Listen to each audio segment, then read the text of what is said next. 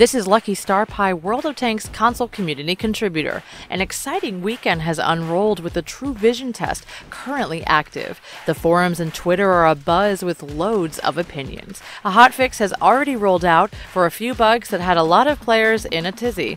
The alleged Artie bug has been addressed with Wargaming non-stop working to smooth out all the wrinkles. But aside from unintended side effects, a vast variety of views have shown themselves across the board.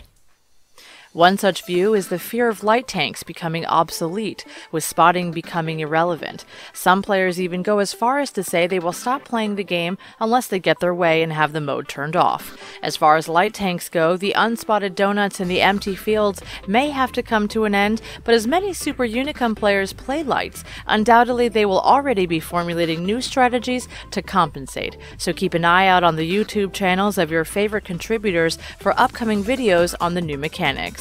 Other players worry that the value of certain crew perks such as Sixth Sense have lost their purpose, with many voicing concerns over other perks. Equipment has been under scrutiny as well, with some equipment such as camo nets and binos being rendered useless, leaving players wondering just what is around the corner for World of Tanks console. Perhaps this is leading towards new equipment mechanics or an overhaul. At this time, your guess is as good as mine. Tank destroyers are also left to worry about their exposed positions.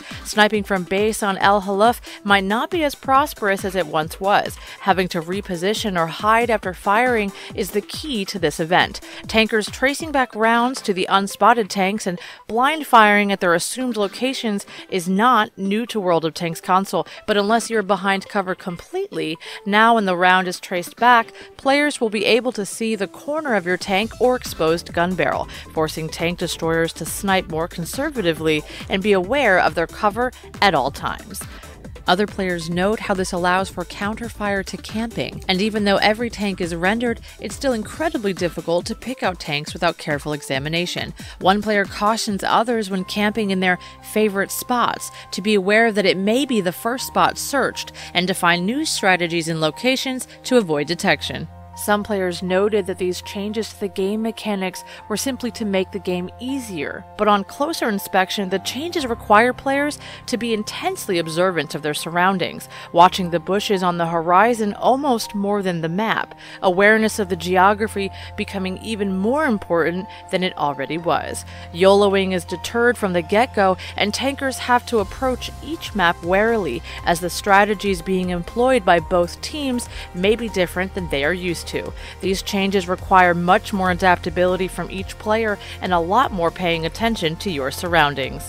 Many players shared opinions about how this could be implemented over time, requiring massive map changes, which may be exactly what we were already getting. Earlier in the year, Wargaming released cliff notes of what they intended for this year, including a map overhaul, where a group of maps at a time will be worked on, then released, before moving on to the next set of maps. The first maps worked on were noted to have more bushes and trees than previous. We can only assume that the next set of maps we receive will also also include more cover in the specific locations as per the suggestions in the forums. The overall stir caused by the event is, if anything, a positive sign of life among the player base, showing that the plea for huge in game changes has been heard and on the horizon for some time. Despite how sudden these events feel when we are made aware, they must require months of planning, and Wargaming is definitely keeping its surprises under the hood. Despite the World of Tanks console news release and media platforms sharing the articles, as well as the forum pages for when the True Vision test was released, many players found themselves shocked and confused when they were killed while unspotted, having simply overlooked the news feed when they loaded into the game. For future updates, these alerts and information releases are crucial to players and provide the much needed awareness of events when they are run. World of Tanks console is a game that frequently has different game modes, such as plus one, minus one weekends with loaded dice where your RNG is different, not to mention seasons such as WWE Summer Slam with the new season pass system and holiday events, such as the upcoming Halloween event that is no doubt around the corner and waiting to be announced announced. If you find yourself having a difficult time understanding the True Vision event, the article is linked in the description below and explains how the vehicle detection system works and how the True Vision test affects that. The forums are also waiting to hear what each and every one of you have to say.